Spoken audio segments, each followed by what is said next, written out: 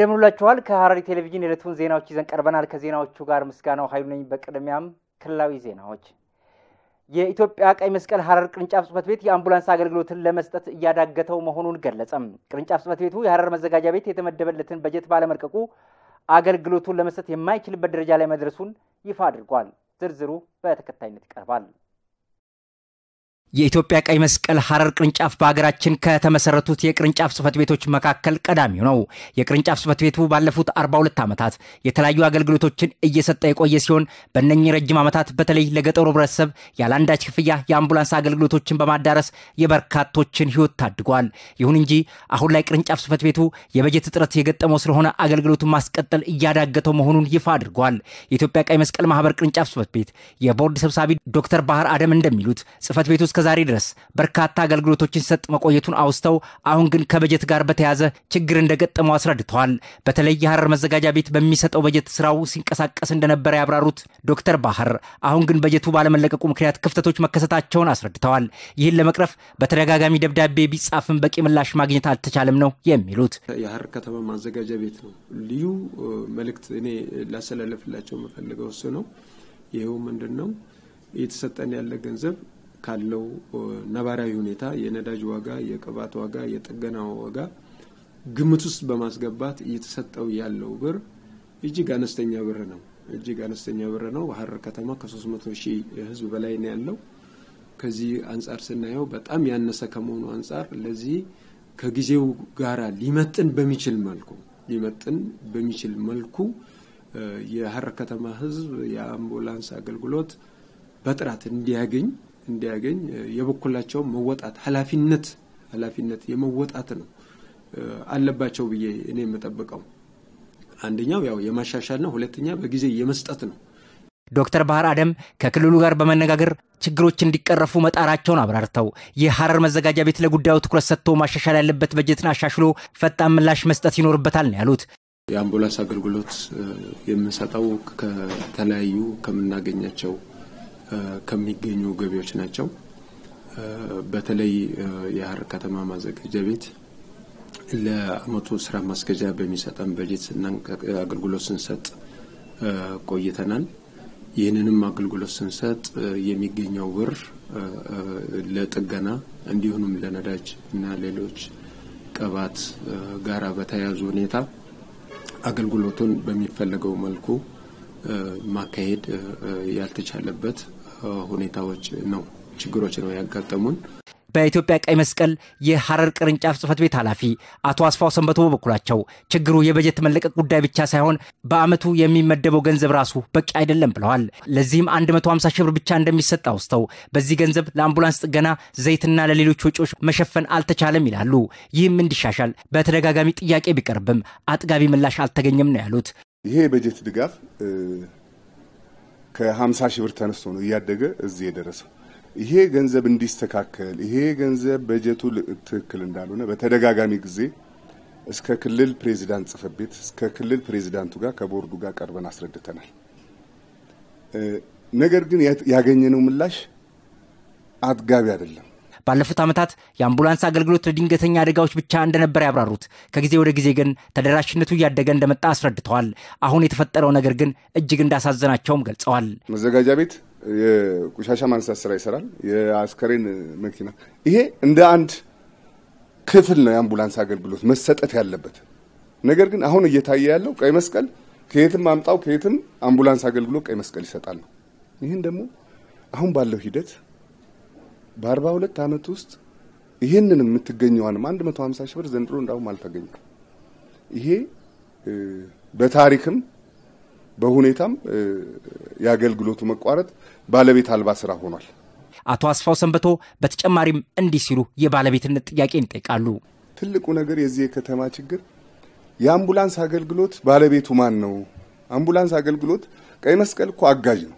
ቀይ መስቀል እየሰራ ያለው መንግስት ያልሸፈነውን ቦታ ለመርዳት ነው እንጂ በመንግስት መዋቅር ይሄ የአምቡላንስ አገልግሎት የቀይ መስቀል ነው ብሎ የተሰጠ አካል የለም። ነገር ግን በነበረው ሂደት ምንድን ነው ቀይ መስቀል አምቡላንሶቹን ያመጣል። የአምቡላንስ አገልግሎቱ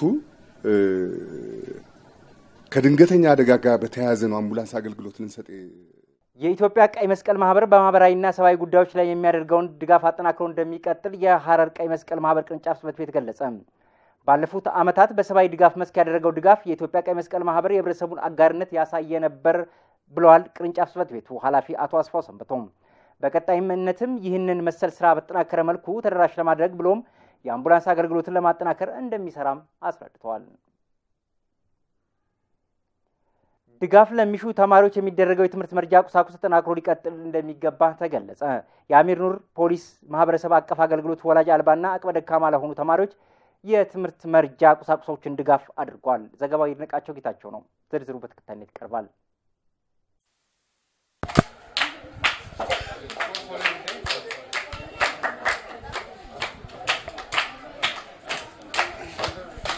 በሐረሪ ክልል የአሚር ኑር የፖሊስ ማህበረሰብ አቀፍ አገልግሎት በትላንትናው ዕለት ወላጅ አልባና አቅመ ደካማ ለሆኑ ተማሪዎች የትምህርት መርጃ ቁሳቁስ ለግሰዋል። የኮሚቴው አስተባባሪ ኢንስፔክተር ኤልያስ ፋሲል እንደገለጸው ማህበሩ ይህን ድጋፍ ያደረጉት አቅመ ደካሞችን ለመደገፍ እንደሆነ ተናግረዋል። በዚህ ወረዳ የሚገኙ ባለሀብቶችና ነጋዴዎችን ለ2011 የትምህርት ዘመን አቅመ ደካማና የሙታን ልጆች ማለት ነው ወላጅ አልባ የሆኑት ልጆችን በትምህርት ቁሳቁስ የመርዳት ፕሮግራም ለማዘጋጀት ስፖንሰር በማሰባሰብ ወደ 45 ደርዘን ደብተር እንዲሁም ለ15 ተማሪዎች ዩኒፎርም፣ አምስት ፓኬት እስክሪፕቶና አምስት ፓኬት እርሳስ ያሰባሰብንበት ሁኔታ ነው ያለው።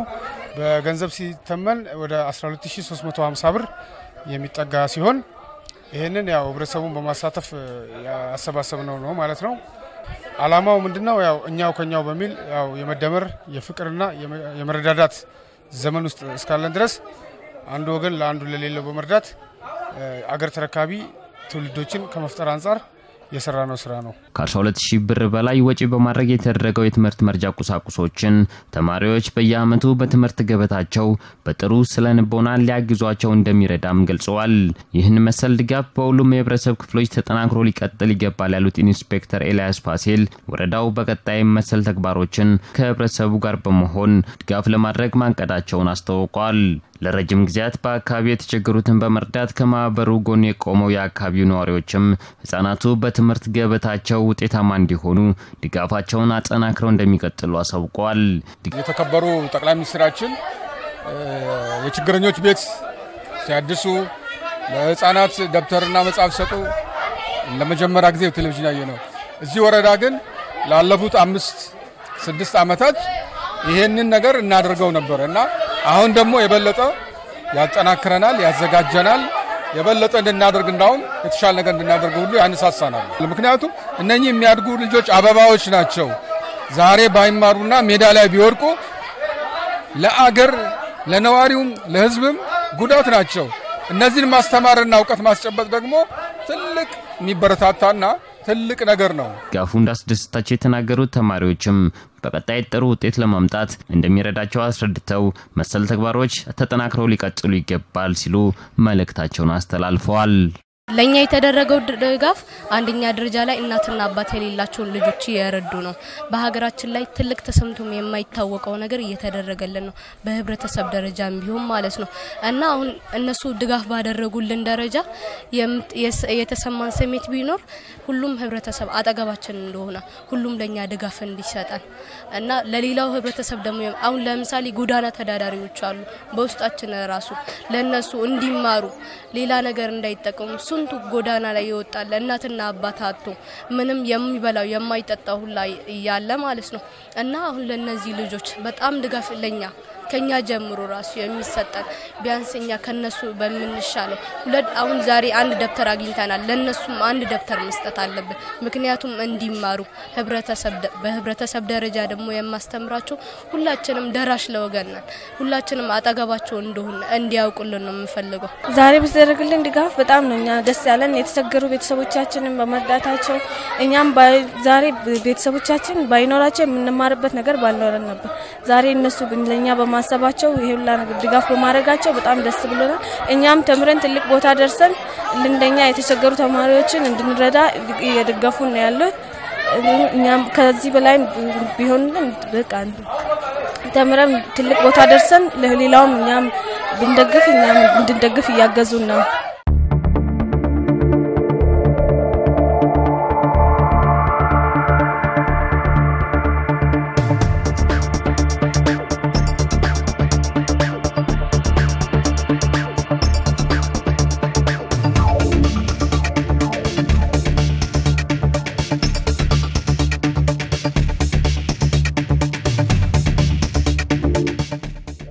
ከሐረሪ ክልል ቴሌቪዥን ለዕለቱ የነበሩን ዜናዎችን ይመስሉ ነበር። ከዜናዎቹ ጋር ምስጋናው ኃይሉ አብሬያችሁ ቆይቻ አድርጌያለሁ። ከቀሪዎቹ ሐረሪ ቴሌቪዥን ፕሮግራሞች ጋር ሰናይ ጊዜ